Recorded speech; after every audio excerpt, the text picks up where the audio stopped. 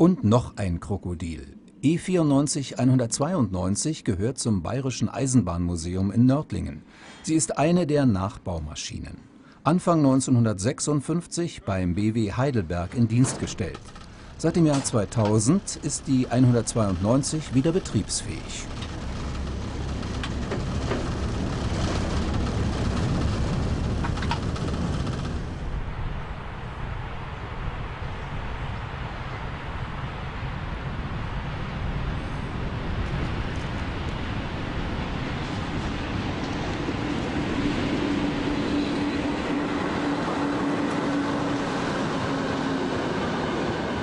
Ein Güterzug von Murnau nach Garmisch-Partenkirchen steht auf dem Plan. Die alte E-Lok ist mit ihrer EDV-Nummer 194-192-1 beschriftet. So war sie 20 Jahre lang bei der DB im Einsatz. Ende Mai 1988 wurde diese E94 beim BW Nürnberg 2 ausgemustert.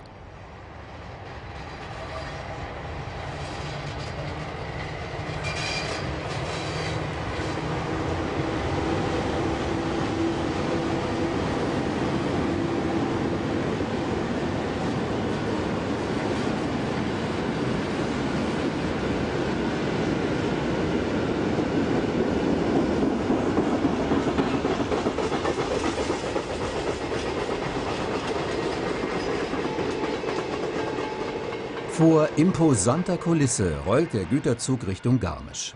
I94 sind in Oberbayern keineswegs fremd, gehörten doch die Gleise zwischen München und Garmisch lange zu den Stammstrecken.